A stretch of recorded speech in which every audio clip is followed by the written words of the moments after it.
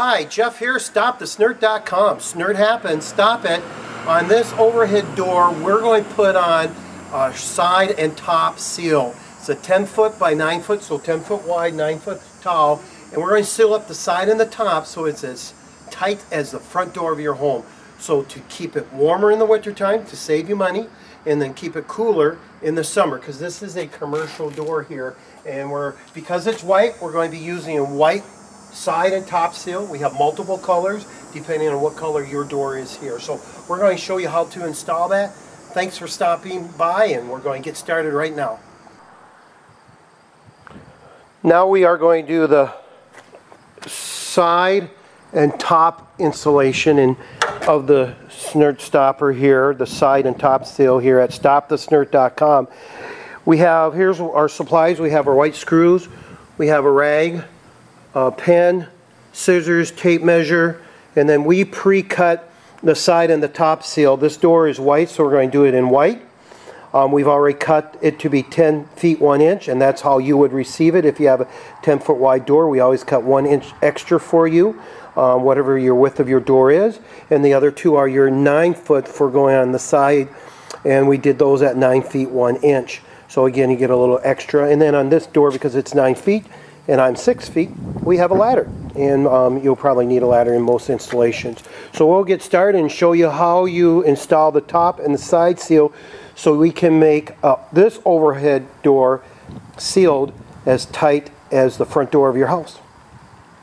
Before we start, we're going to start with the top seal and then do the two side seals. But the first thing I want to do is clean everything up. Get everything cleaned up. There's cobwebs on this one here.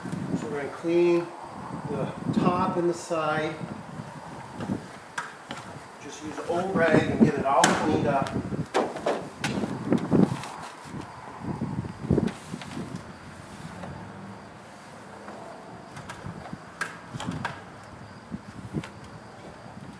So now we're going to do the installation of the top and side seal. We'll start with the top first. We are going to keep our existing garage door weather stripping um, our philosophy on that is like in the wintertime, if you have two, a t-shirt and a shirt, you're going to be warmer. Two layers are better than one. And these are okay. I mean, they are, um, they're starting, don't form back as good as when they were new because these lose the elasticity. Our stuff doesn't do that because it's made from a Kevlar material and it's engineered to seal for life. Let me show you our side seal and our top seal. We're going to do white. We have multiple colors um, to choose from, but this door's white, so we're going to install white. But if we look at this here, we have again another, what we call the lip side and the loop. If you look real close on the loop, there also has a piece of insulation in there. We're the only garage door sealer, both bottom and side, that seals and insulates. That's how we can keep the area warmer and seal up your overhead doors or your other doors as tight as your home door. Now when we install that, the the insulated side, the loop side, goes against the door. So on this piece here, um, when we install that, we're going to go left to right because I'm right-handed. And we're going to install that just like this here. And um, if you're going to put it on existing weather stripping, you're going to basically line up this edge to be even um, to that if you're on a residential door. These are a little thicker uh, because it's a commercial door. But generally speaking, when you line that up, you're going to line that up almost close to the edge. Now this one, I'm going to do a little different. I'm going to bring in about an eighth of an inch so I get a little bit more sealing on, on the door because that's where we want to seal. So anywhere between right on the edge to about an eighth of an inch is real good. We don't want to go too far in because when the garage door opens then you'll catch that. So I have found over the time of all my installations just like I, you see how I have lined it up here on this door, I'm going to go about an eighth of an inch just because of the width of the weather stripping that was installed on this door. Okay, so we're going to install a screw every nine inches. There's two ways of doing it. You can do it while you're up on the ladder, or you can do it on the ground. I like doing it on the ground. It takes a little longer, but I'm, I know that I'm, I'm pretty much nine inches. Um, a lot of people just guess, and that's fine with me too whatever works best for you. Now when I when I measure it out, I start about uh, about three quarter about a half an inch to three quarters of an inch here, close to the side, about a half inch I'm going to do here. And then I'm going to go down every nine inches. I'm just going to put a little dot because the screw will cover it. 18, 27. So just going to go down. And that way when I'm on the top of the ladder, it's a lot easier. Okay, what I like to do before I start up here, I actually like to put the screw in the material first on the first one. Because that's the hardest one to do. So I'm going to put that one in first. And I'm going to go probably about an eighth inch to the left side there. And then I'm going to go about an eighth inch off that just because this is a thicker um, weather stripping than most. And in during the nice weather, I like to do it with the garage door open. If it's cold, then I do it with the garage door closed, so you can do it either way, whatever works best for you.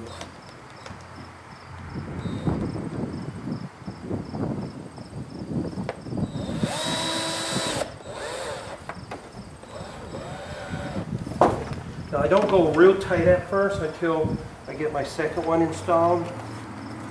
Now I'm going to install the second one here.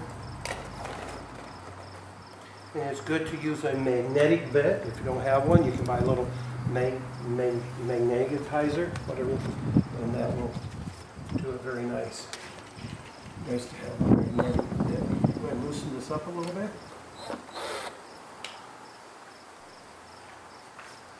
Now, uh, you want to pull it tight with your one hand. That's why I like a dot.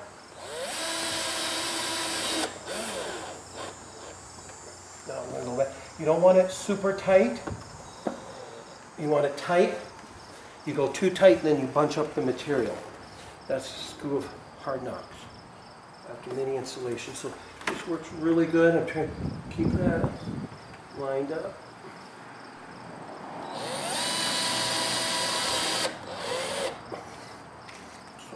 And Pulling this tight with my one arm here, my left hand, and running up tight, but not overly tight, tight to bunch the material up.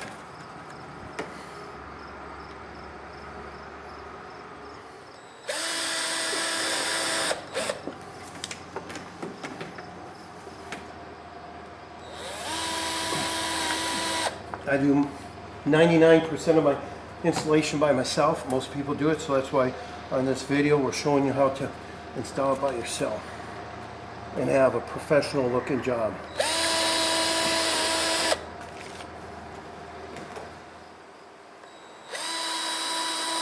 is why I like measuring it on the ground. A lot quicker when you... Now, some people say, what do you do if you have some of the big doors that are 20 feet long, 24, they will splice the current weather stripping. If you come across that, if this was the splice right here, you're going to put one screw here, one screw on the other side. So you would, you don't do, that's where you um, don't, we want you to put extra screws. This door you don't have a splice, but if there is a splice, you're going to put it on one or the other side. One on each side of the splice. Get it nice and tight. So now, as you can see, we put a little here. So we're, it's, this is where it's good to measure. And like about an eighth of an inch. It does not have to be right up there, but about an eighth of an inch.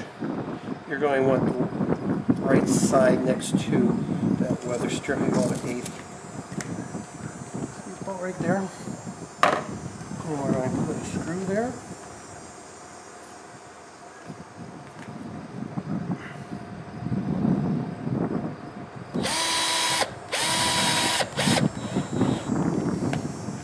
Now if you look left to right, look at how nice that looks. We're going to have a very nice sealed garage. Now we're going to start, I always do the left side next, so that's our next one. Okay, we're going, before installing the side seal, we're going on the ground mark every nine inches.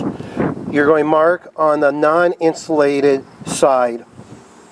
So this is your insulation, and let me just show you something again. This is going to go up like this here. I'm going to walk over here.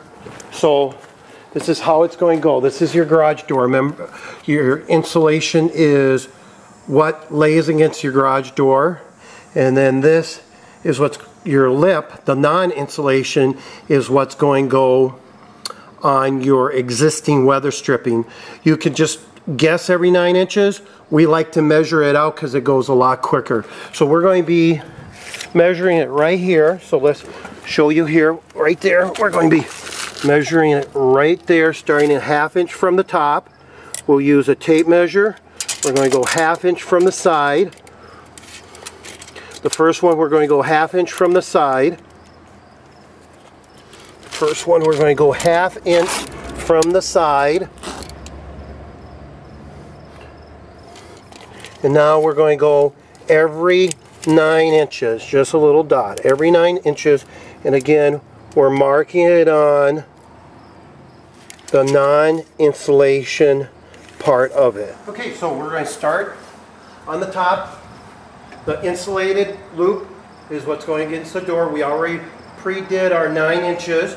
You don't have to if you don't want to. We're going to install that all the way up to the top. On this door here, I'm going to go about 1 8 inch in the existing weather stripping.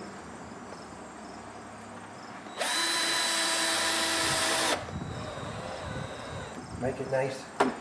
Make it uh, not real tight on the first one, so we got some slack again. I'm pulling down. Get it nice and tight. And coming back here. You don't want it so tight that you bunch it up. I'm just stopping it right before. I'm making it tight, but not so tight that you bunch it up. Bunch the Kevlar material. Okay, now we're going to cut it. Again, we like to, we rather cut twice instead, instead of being too short. So I like to line it up.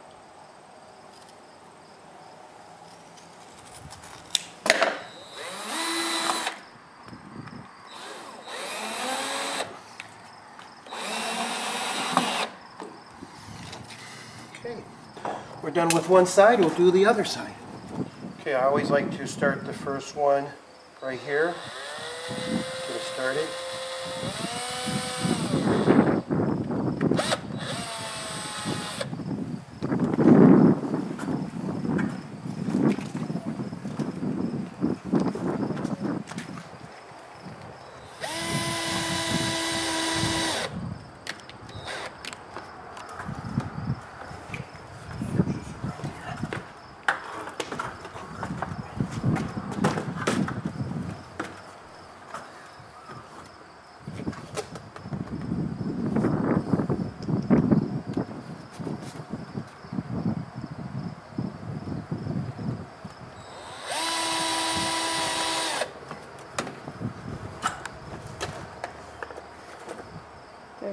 So we're going to finish this out, pull it tight.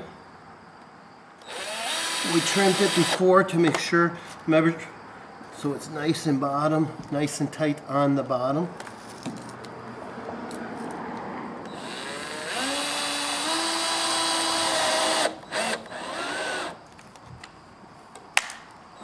So we just finished up installing our side and top sail. As you can see, this is nice and tight and it will always be that way completely from the bottom to the top and over. We are completely sealed. This door snirt's not happening anymore here. We're keeping all the dirt dust grime bugs critters out of this door and we're keeping it warmer and keeping the work environment safer because we did the side top and also the bottom. Snirt happens. We stopped it here. If you have any questions you can call us at 800 250-5502 or visit us stopthesnirt.com. Snirt happens. Stop it.